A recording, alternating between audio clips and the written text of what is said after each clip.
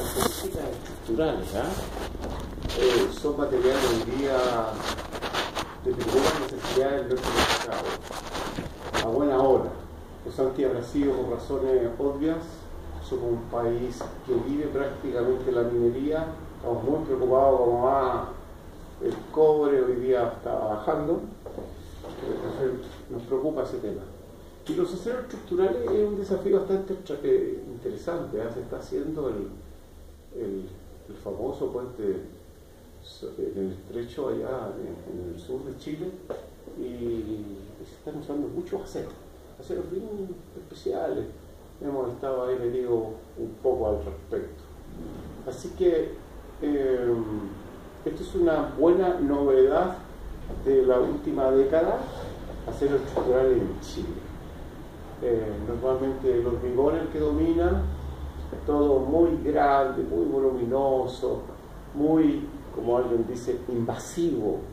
Si te ponen un puente aquí y, la gente cree que eh, el espacio termina aquí, no, continúa más allá, claro, porque hay un medio biombo ahí que, es el puente, digamos. Así que, eh, a ver si nos entretenemos con esto. Empieza la PEP 2. Esta es una pregunta, ¿qué son los aceros estructurales? Es algo interesante a, tener presente. ¿ah? Los aceros estructurales son los que aguantan, los que soportan, los que no deben fallar.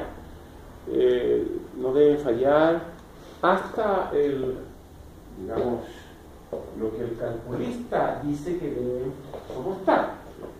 Es como las torres gemelas, ¿cierto? Las torres gemelas están tan bien construidas que un avión de esa magnitud chocó y, aguantó la estructura. Si no le pasó nada. ¿Cierto? Eh, hablamos por el choque, por la solicitación, por el esfuerzo, por el cálculo bien hecho.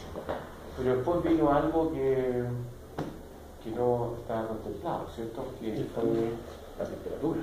¿Cierto? Las torres, las torres, las torres, voy a poner así, torres gemelas, la dos el tema fue el de la temperatura, ¿cierto? Claramente nosotros sabemos como metalurgistas, porque estudiamos la laminación caliente los, los controles, que si aquí está la, resistencia o dureza, lo que sea, y aquí ponemos temperatura, este cuento es así.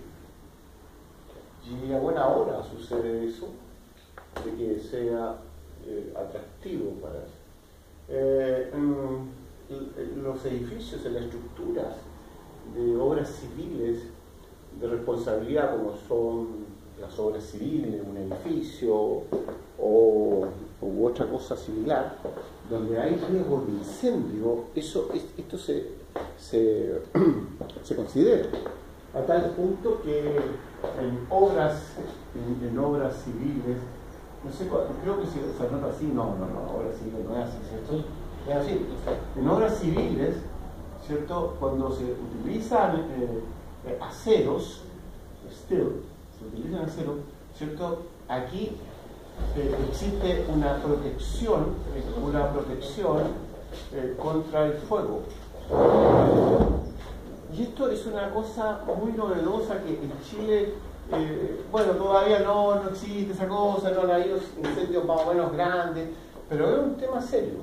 En el caso del hormigón, donde en el, núcleo está la estructura, lo estructural, que es el acero, el hormigón armado, el propio eh, hormigón es el refractario, entonces ahí sí No es necesario ahí tomar en cuenta, a pesar de que se hacen estudios, alguna vez tuve que ir a ver el edificio Santiago Centro. ¿Dónde era Santiago Centro? Eh, Alameda y Omada. Un edificio que dice que está chueco, ¿cierto? Bueno, me recuerdo que tuvimos que ir a la, al techo de la azotea ahí y ese usted se movía, ¿no cierto? No movía, esa cosa, pero no salía caer. Y si está chueco, qué sé. Bueno, estuvo muchos años eh, así desocupado. ¿Y por qué? Bueno, desocupado. Quizás había problemas no lo terminaban. Y, aquí en la base de este edificio, por el lado mirándolo hacia el norte, aquí a este lado, alguien se instaló acá en el, primero, con una fuente de soda. Entonces, estos edificios tienen los chats de ventilación por aquí al medio, que son ductos, que se dejan a propósito porque por ahí pasan todos los cables. Y en algunos, eh, inclusive son más anchitos y pasa el ascensor. ¿Sí? Ese es el chat, es un chat. Entonces, estos rayos tenían cocina, tenían que evacuar gases. ¿Qué crees que hicieron? No tiraban por el por aquí, por aquí los gases. Gases de combustión. Pero esta cosa, eh, chilensis, ¿cierto? Tenía un moldaje y había de madera. ¿Qué creen que pasó en el tiempo? Todo esto con aceite y un buen día, incendio. Listo. Eh, esto tiene dos subterráneos. Uno, dos. O creo que tiene hasta tres. Empezó el incendio, llegaron los bomberos, llenaron todo de agua. Y ahí funcionó el seguro. Y es por eso que yo me metí. Yo trabajaba con un asegurador, con un liquidador de seguro. Y no, el edificio se lleva a perder y todo así, ya empezaba con un cuento grande. Entonces, eh, uno puede calcular la temperatura. ¿Cómo puede calcular la temperatura en un trozo de acero a la cual fue calentado? ¿A la cual fue calentado? Sí. ¿Por mi temperatura no? Sí, así, pero así uno lo mira, porque imagínate en un edificio una estructura que sacan un pedazo. ¿Tú crees que? No. Y luego la carbonización que tiene así. Carbonización. ¿Qué es esa cosa? O sea, eh, rara, ¿cómo digamos. esa, esa cosa me da No, el, el hollín que tiene. El hollín. Claro. El hollín, ¿cierto? Pero tú crees que, que exista mucho hollín cuando estamos con la atmósfera llena de oxígeno, ¿cierto? Normalmente completa, ¿sí? ¿Qué cosa podría ser? Digamos que hay exceso, exceso de oxígeno, al cuento, digamos. ¿Ah? El hollín significaría que esto no, separaría la, la, la, el incendio porque faltaría oxígeno, eh, porque el, el es CO, ¿sí? el, el, carbón, el carbón. ¿Sí? Por acá, ¿cómo, se, ¿cómo podrían medir la temperatura? Hay una forma muy fácil, por el tipo de óxido que se forma. Los óxidos, tienen, los óxidos de hierro tienen temperaturas a las cuales se forman. Entonces uno puede decir esto es a tal temperatura y cosas así. Otra cosa más fácil es, oye, ¿a dónde está la estructura que se quemó esta, que se calentó? Ahí midamos la resistencia. Y uno puede medir la dureza y sabe que el tercio de la dureza Brinell, ¿qué es es? Tarea número uno. El tercio de la dureza Brinell es el sigma de. Ese aproximadamente. ¿Ah? Entonces uno puede perfectamente hacer ese, ese tipo de cosas. Así que eh, los aceros estructurales son esos que, que aguantan, ¿ah? es, es, es, nuestro esqueleto. eso es lo interesante. Entonces hay que defenderlo a brazo partido. Y en el caso de los incendios, ¿cierto? Eh, cuando hay estructuras de acero y están descubiertas, eh, hoy día hay algunas empresas eh, que en Chile están muy así, todavía incipientes, pero en Europa y todo es una regulación grandota. Y aquí hay normas para, eh, para protección de estructuras de acero contra incendios. Me parece que en el, en el aquí eh, en el terminal aéreo, en Pudahuel, están. Se forran con este tipo de cosas, se aísla son a base de cerámica y cosas así, uno podría hacer esas cosas. Entonces pone, eh, y eh, no, di, no, vamos a decir que no le va a afectar, ¿cierto? Pero si eh, un, un, incendio, ¿qué temperatura podríamos tomar un incendio?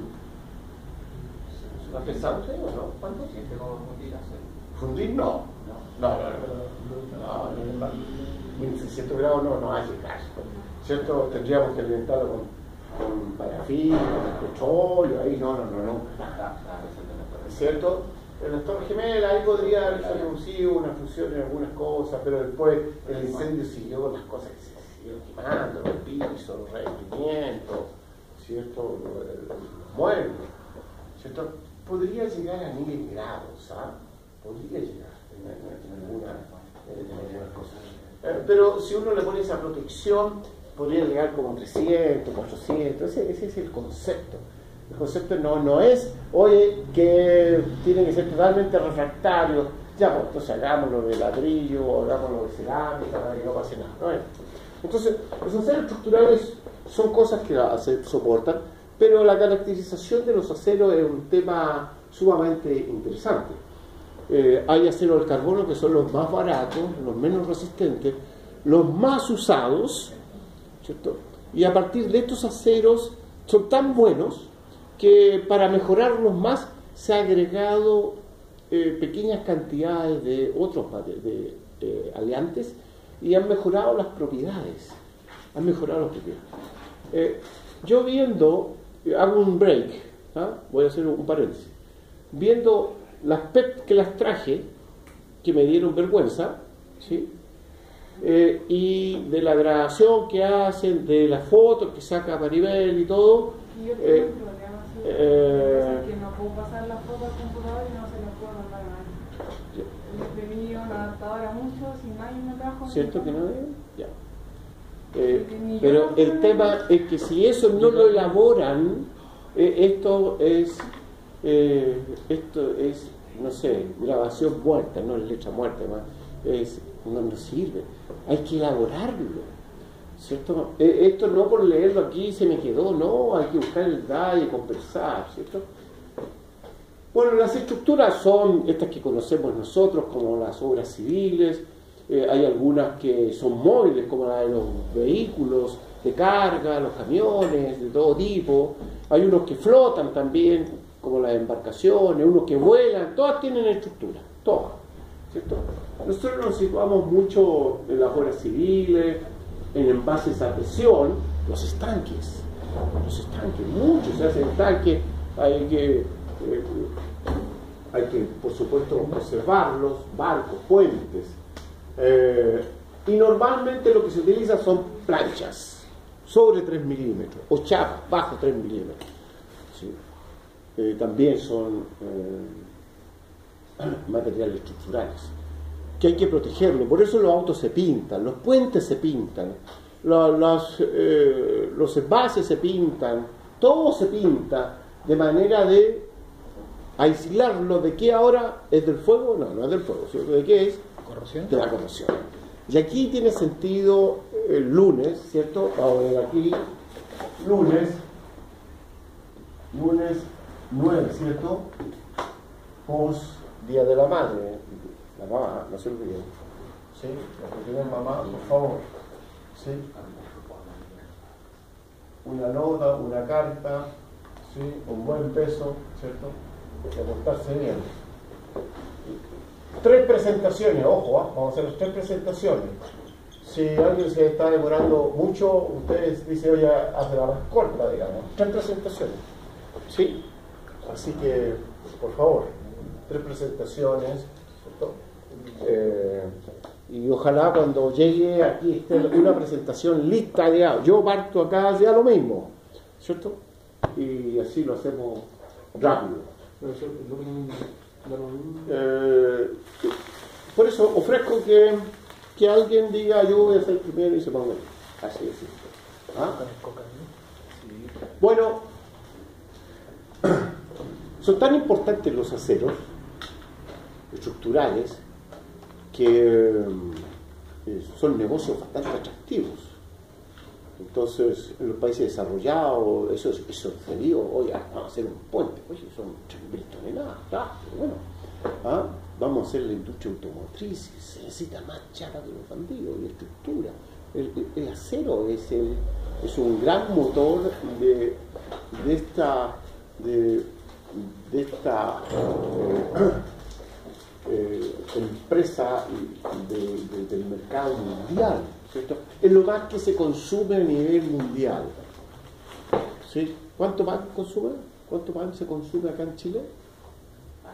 ¿Sí? ¿Per cápita? ¿Cuánto? Más o menos. Dos por casa. ¿Pero cuántos kilos? Kilos kilo por año. Per cápita. Cada persona. ¿Cuánto consume más o menos? Está cerca de 100, ¿eh? somos vicecampeón mundiales. Es terrible, es terrible. ¿Y cerveza? Campeones. No, no somos campeones, somos latinoamericanos. No, hay otros que, que, que usted no, no sé si los alemanes, los alemanes son pero curados. Ah, y sobre todo las mujeres. Dios mío, libre, ¿cómo es? ¿Sí? ¿Cómo lo hacen? Eh, y tomando, tomando esos vasitos. Aquí, eh, no, el acero son como 160 kilos per cápita en Chile. ¿eh? Es, es, mucho. Y producimos la, la, mitad y menos de la mitad, inclusive. Y una calidad mala, que hace como tres días atrás, los de Asa Guerdao tienen la, la, la la buena, la pésima idea, mejor dicho, de criticar los, los aceros chinos. Eh, pero los aceros chinos son homologados porque lo hacen bajo ASTM, que no sean buenos es otro tema. Pero los aceros que hacen el no están homologados por ASTM, sino que es una norma nacional y no está homologado en ninguna parte. Entonces, eh, ¿cómo será eso? Eh, hubo un medio terremoto la otra vez acá y aceros chinos, y no pasó nada. Buen cálculo, eh, que tienen sus temas, y quien ha fue la gente que rodaba. Pero era sesgada la cosa, pero, eh, eh, esto está malo, sí, pero no hubo ninguna autocrítica. La calidad de ellos es una calidad comercial, más o menos mala, no es que más o menos mala, ¿cierto? a tal punto de que se, se comercializa poco Guerrao, Guerrao se le está, por lo menos la empresa donde estoy yo le compramos la calidad 36 que tiene hasta 2 pulgadas, 50 milímetros. Más arriba no hay. ¿Y, por qué no hay? No, eh, ah, o sea, no podemos fabricar nada más allá de 2 de 50 milímetros. No, hacen, no, no hacen productos planos. Lo más que se utiliza en A36 es productos planos. Y es malo, ¿cierto? ¿Y qué hacemos? No somos nada entonces. Y si compramos chino, no, es que es malo. Entonces no, tiene sentido esa, esa, crítica. Porque al último, eh, la CAP podría pero la CAP tampoco está haciendo barras. Y al último tenemos que hacer nada. Como que quieren meterse al negocio de la importación y distribución. Una tontera más o menos grande.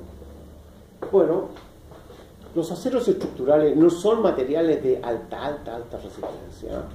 Eh, hay algunos de alta resistencia para fines bastante específicos, que se las torres gemelas eh, eran cajones y estaban fabricando, fabricadas en un acero del tipo QT, el Plau Revenido, el ASTM A514. El B, el grado B. Esta norma tiene como 15 aceros. Eso es lo que quería decir, que hay eh, muchas normas, acero estructural de carbono, acero bajo contenido carbono, pero microaleados, aceros de la misma naturaleza, pero con cobre un poco de cromo, porque son resistentes a la corrosión atmosférica, eh, de tamaño de grano grande, para envases a presión, tienen buena resistencia a la fluencia lenta, o sea, tienen un tamaño de grano eh, inferior al número 5 en tamaño, este también para envases a presión, pero este grano fino es más resistente, tiene más resistencia, pero menos resistencia a la fluencia lenta, un, eh, un HSLA, un High Strength Low Alloy, ¿cierto? un tipo QT, está la norma nacional, una norma así media, eh, así eh, yo diría que es, es un jurel tipo, no, no, es un jurel tipo salmón, esa es la cosa, ¿se acuerdan que habían esas cosas? Así es más o menos la norma 203, porque hace una gran especificación y después dice, vamos a definir el concepto de sismo resistente, que aquí lo vamos a ver, y después dice, no hay aceros. ¿Y qué hacen? O sea, invitan, norman eh, una especificación de construcción, y después dice, no hay acero. Y se dan una vuelta carnero, después que hicieron toda esa cosa que era indudablemente era necesario por los sísmicos que somos nosotros, ¿cierto? Eso venía quizás de dónde la pedía, y dice, no, pero ustedes con esta norma pueden eh, homologar calidades como la A36, A572 y la colocan como sismo resistente para los 203. Por eso es más o menos un jurel tipo salmón, digamos, ¿ah? una cuestión rara, del verbo raro, pero sirve y ha servido. Entonces lo que hay que hacer es tomar estos materiales que vienen vienen, eh, eh, digamos, con MTC, con certificación, y hay que hacerle ensayos de comprobación. ¿Y cómo se hacen los ensayos de comprobación? Mire, usted defina los lotes. ¿Y son los lotes? Usted diga, pues, pueden ser, qué sé yo, 10 toneladas, pueden ser 30 toneladas también. Y usted dice, ese es un lote. Eh, y, y, una cosa así, más o menos, no, no, es muy rigurosa. En las normas de STM es clara. La colada se controla. La colada se controla. Y, son tan rigurosos que recuerdo la norma de Perlos, por ejemplo, la 193, la STMA 193, guion 2015, no la 2000, la 2015, 2014, 2015, donde eh, vamos a controlar la materia prima que es eh, por colada. Listo, se hace esa cosa. Ahora vamos a controlar el tratamiento térmico por hornada. Entonces, un tema es la composición química y otro tema las propiedades mecánicas después del tratamiento térmico, pero por colada, por hornada.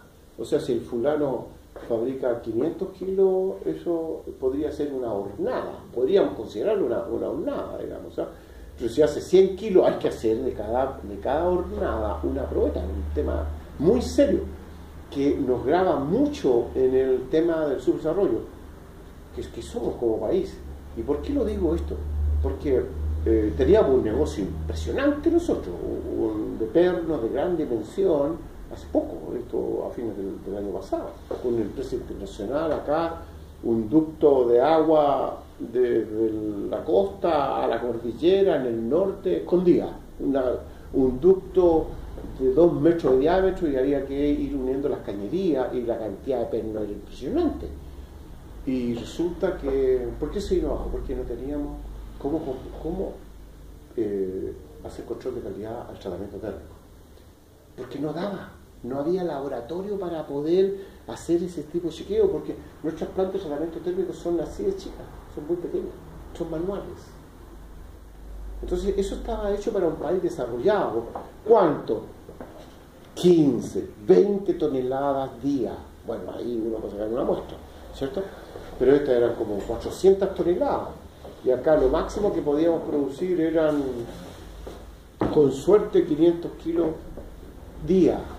Una cosa que no, se podía sustentar. ¿eh? Ya.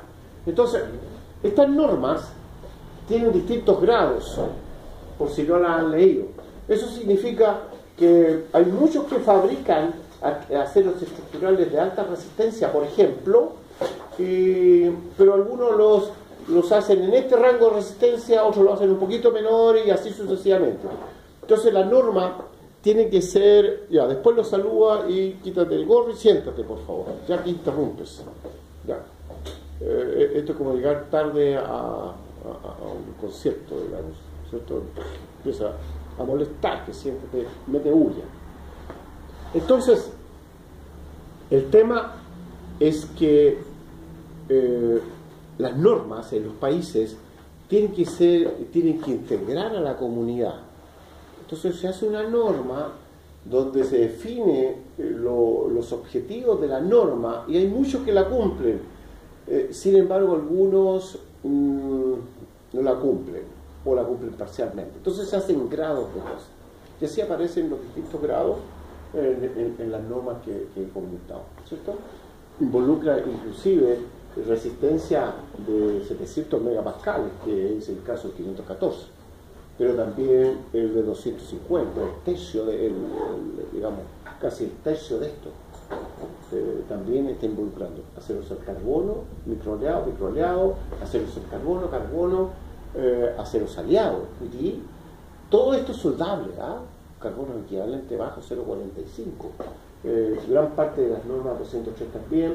Este es un acero que no es un microaleado, eh, es un acero normalizado eh, por proceso batch, ¿cierto? Se obteniza, se obteniza y después se normaliza, se achica el tamaño del grano, diferente a estos que son microaleados, que son normalmente hechos por laminación controlada, de manera que la laminación no solamente sea para el formato, sino que para las propiedades mecánicas un tema atractivo que vamos a ver. Gran cantidad, eh, esto eh, la Segunda Guerra Mundial, la década de los 40, fue un tema de mucho desarrollo. La guerra eh, aceleró el, tema, por ejemplo, de soldadura. No se soldaba, digamos, antes de la Segunda Guerra Mundial.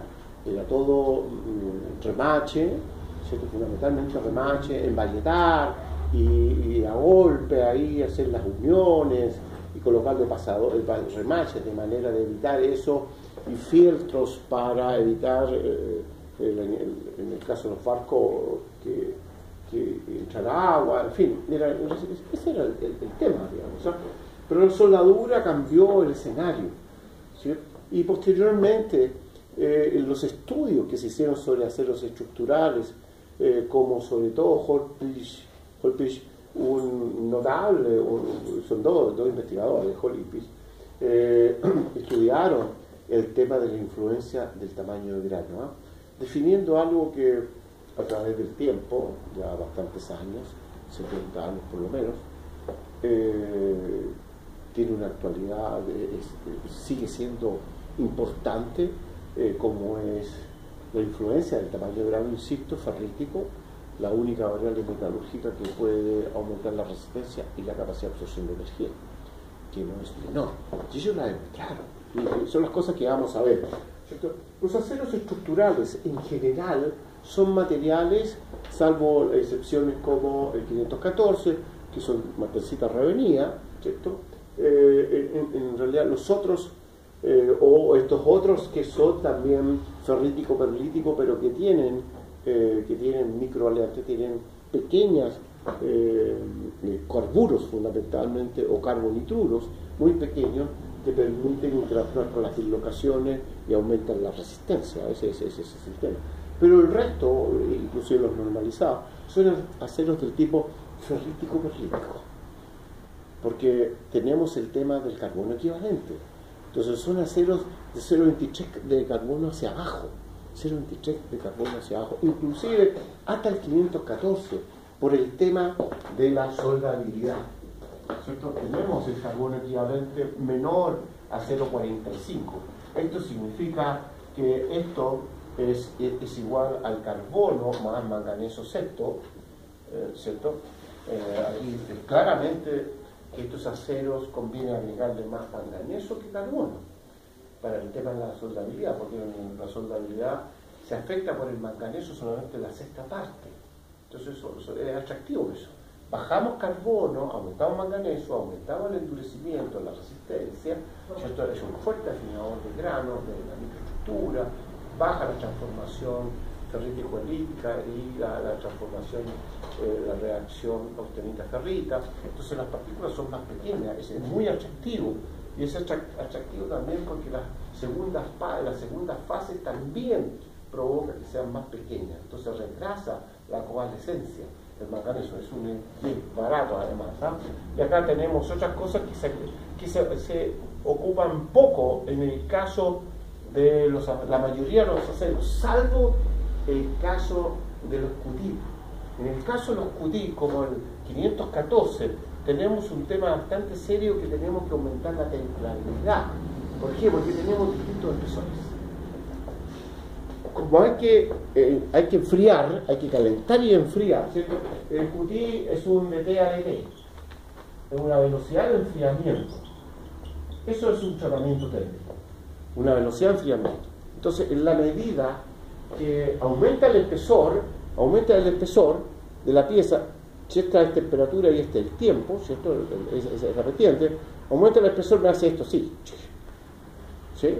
Y si tengo eh, un, tengo una aleación, tengo una aleación, lo más probable es que a medida que vaya aumentando eh, la capacidad de endurecimiento, la templabilidad me disminuya, que eso es cierto. Entonces la única forma es alejarme, ¿cierto?, de la eh, ordenada, ¿es así? De la ordenada. Entonces para ello tengo que agregarle elementos de aleación, cromo y, y molibdeno, ¿cierto? Boro le puedo agregar también que me alejan, me retrasan las transformaciones en competencia. ¿Correcto? Uno puede decir, oye, pero ¿por qué no, no eh, aumentamos la severidad de temple? Eso es complicado, más allá El 514 es un acero templado, que ya es suficiente. Entonces, eh, los aceros necesitamos que la resistencia eh, sea algo bastante homogéneo entre la superficie y el núcleo, porque está sometido a fuerza la sección y la tenemos que defender a brazo partido, por eso está el galvanizado o el cromado o cualquier revestimiento que aísle eh, el oxígeno, la pintura, para, ese tipo de cosas. Porque en la medida que se produce corrosión, se disuelve la aleación, eh, se va adelgazando la sección, me va disminuyendo el coeficiente de seguridad y eso no se puede permitir en una estructura, porque es el estructurero que dijo, este es el espesor, y usted lo defiende como pueda, pero tiene que defender. ¿ah? ¿Está claro eso? ¿Sí? Entonces aquí hay otros conceptos más. No usamos planchas. Lo he repetido en muchas ocasiones. No usamos barras tampoco. Usamos secciones de esta. ¿Cierto? Ayer me consultaban por un puente de unos tirantes en el sur. Y queremos poner 1045. ¿Sí? ¿Qué opina usted sobre tenemos que galvanizarlo? si algo le podía pasar al galvan, con el galvanizado, yo he galvanizado fierro fundido, ¿cierto?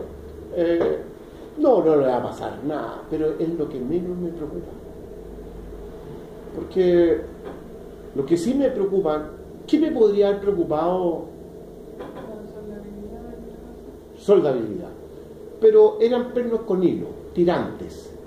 Que yo, un tirante, un trozo de, acero, qué sé yo, de una pulgada y media, de 38 milímetros, le pongo aquí tornillos y, son tensores. No lo voy a soldar. Eso. Eso, eso me preocupa. Y eso le dije. Y saqué un extracto de lo que vamos a ver nosotros. Le dije, los puentes en Chile se hacen bajo la norma ASTOP 270, M270. ASTOP ¿cierto? Que es una norma americana, porque como no tenemos norma, menos mal que los eh, ágiles acá, eh, la Astor, eh, así Astor, Astor, eh, una, creo que así Astor, estoy cometiendo un error, pero, pero es una norma americana, M270, ¿cierto? Entonces, no es a la que te criaste el cuento, no, no es lo que yo quiero. ¿cierto? Sino que es lo que hay que satisfacer, porque un puente es una cosa seria, fuera de ser caro, ¿cierto? Eh, podemos decir fácilmente, Kiefer, donde yo asesoro, estaba metido con el Cauca, ¿cierto? Ahí y oía, está el tema, aparecieron unos magos, no, hay que repararlo. ¿Cómo voy a reparar una estructura donde yo le meto el soplete aquí para cortarlo y esto se va a mover para todos lados y qué hago después? lo enderezamos, ¿sí? Dime cómo lo enderezamos. Nada, no se puede. Ese puente es, no se puede, no se puede enderezar, ¿cierto? Lo que hay que hacer hoy día es votarlo y hacerlo de nuevo. Aquí está, sale tanta plata, sí sale tanta plata. Es así, ¿sí? Eh, es así el tema. Pero no, no se puede parchar, ¿cierto? Y hay ingenieros, el presidente de Licha, que lo conozco, eh, él dijo, esto hay que hacerlo, sí, se repara, sí, sí tengo el informe ¿cierto? ¿Cómo lo hace él? Tengo un informe donde critica al, al, al, puente, le tira a Kiefer, pero todo, así como que era el responsable, y lo que quiso Kiefer fue poner solamente las, los, eh, todo el izaje, digamos, el levantamiento, todos los, equipos hidráulicos, fue el único. Y eso quedó perfecto. El tema fue que el puente quedó corrido el, brazo del sur, ¿no? Del brazo sur y el norte, claro, y pusieron la baranda al otro lado. ¿Cierto? Eso. Y Asby, los españoles, callados, dijeron, no, tenemos que repararlo, porque la metida de pata era, pero, pero grandota, lo hicieron callado, nadie supo nada. Cortaron, soltaron acá y esto empezó a moverse. El puente nunca se unió así, estaba así, a choco. Y uno notaba, esas cosas no dejaron echar a nadie.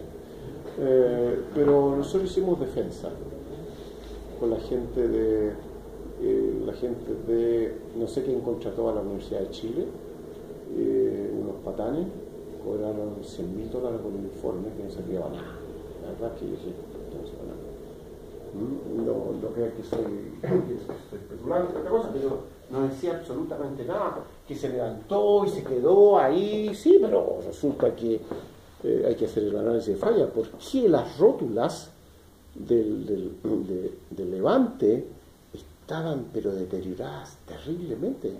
Estaban, eh, eh, algo se, se, metió adentro, en, digamos, la rótula es, es es algo que está girando sobre una caja y la caja adentro estaba llena de, de, de, desgaste inusitado, algo que no se había ocupado y estaba así. Lo que pasa es que la estructura empezó a girarse, empezó a girarse. Eh, se descompresó, no sé por qué, y, el daño fue terrible, así que no se recibió la defensa. No, no, aquí el proyecto tenía ganas, ahí ocupado 36, a, a, a, 10 45 que yo lo haya visto y haya recomendado, oiga, hoy día saquemos eso, porque la próxima vez vamos a ir a sacar los, los, camiones en el río, digamos, o sea, venir abajo esta cosa. Y se siguió ahí, bueno, pero no falló por eso, falló por esta otra cosa, digamos. ¿sabes?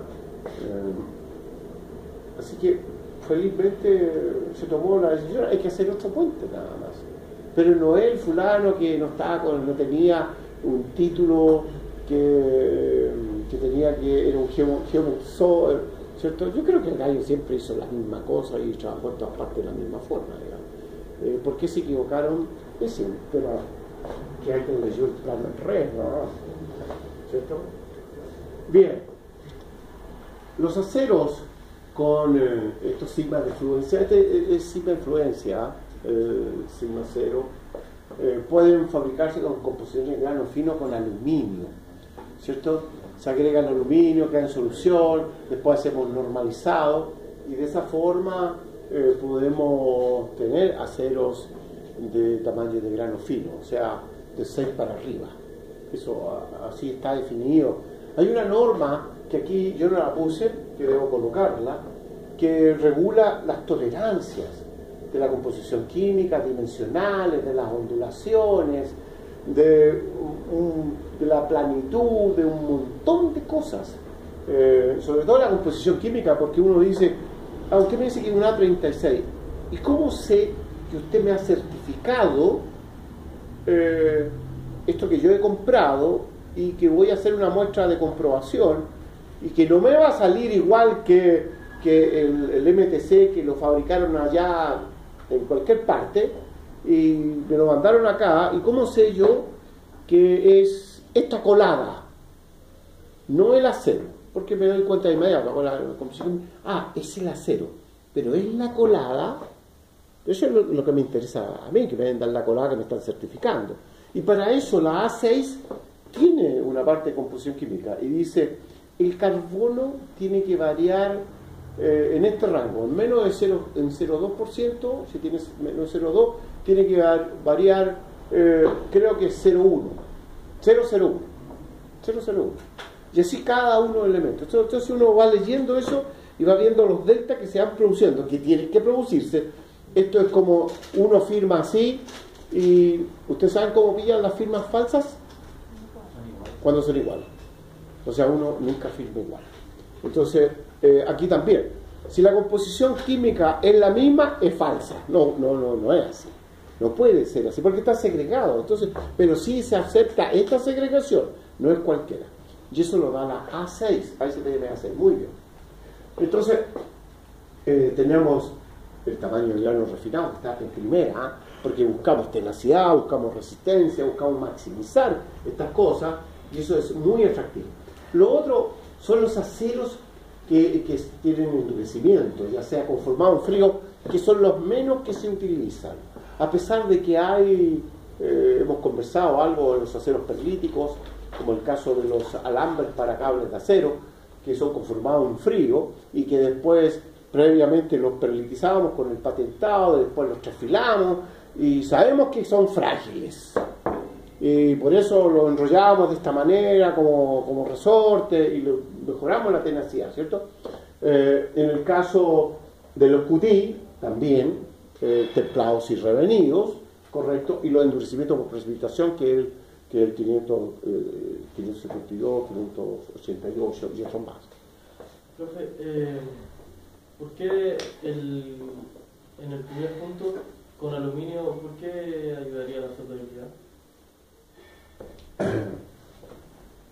¿Por qué ayuda a la, a la soldabilidad? ¿Cuál es el, el concepto de grano fino? De inmediato.